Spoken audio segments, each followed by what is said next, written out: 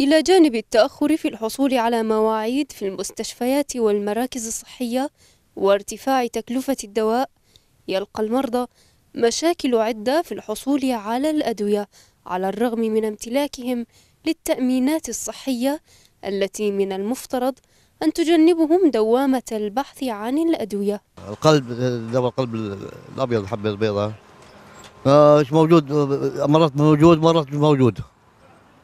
هذيك اليوم أعطونا دواء المعده آه، أعطونا الكبسولات للمعده بيعطونا فومودار الفومودار ما بيليمني فهمت علي كيف؟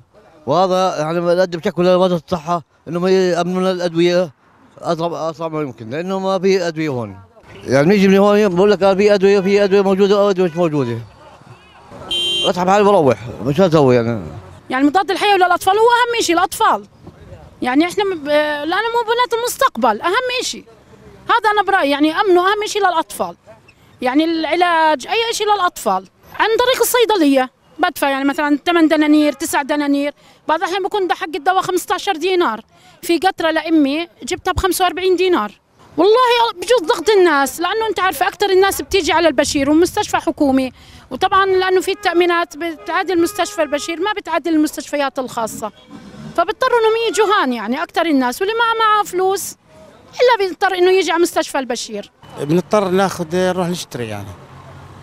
ما في بديل. فيش بديل يعني غير نروح نشتري مشترى وغالي الدواء برا. غالي كثير يعني هسه زوجتي أنا هي أربع خمس أدوية لها مش موجودات. فبنطوها بديل والبديل آه، ما- بيزبطش معها يعني. خاصة أدوية للقلب للأعصاب. آه، دواء ال- الجلطات أمراض تكون متوفر ومش متوفر. مش كل الأحيان يعني. لما نيجي نراجع بقول لك ما مش موجود هسه. تعالوا بعد شهر تلاقوه متوفر. آه هذا اللي بصير يعني. يعني دائما السكري دواء السكري اللي بناخده ال Galvus وفي أنواع تانية دائما مش موجودة.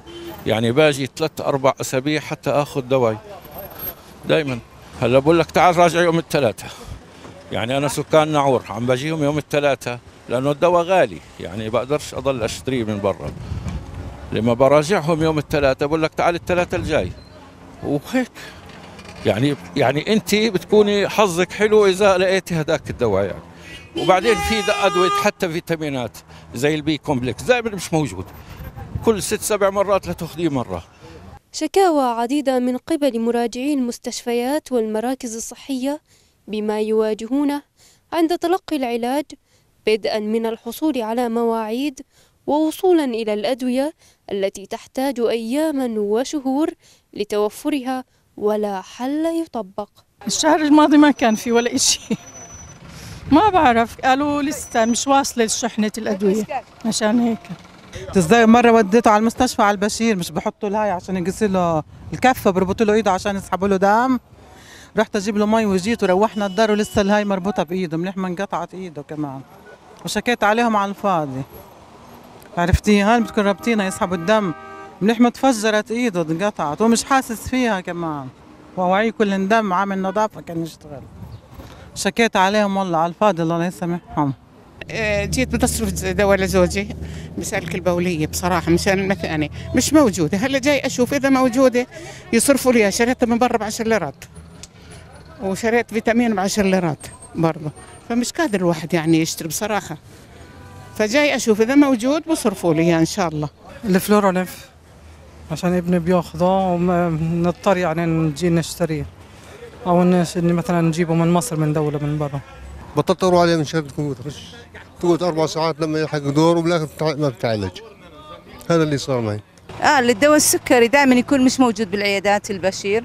بس لما أراجع دكتور رئيس العيادات بيأمن لي إياه. يعطيني بديل له آه يعني ما يخليني إني بروح إني مش ماخذ الدواء مع إني أجي من مادبه لهون لا البديل ما بينفع بس إنه بيسلك.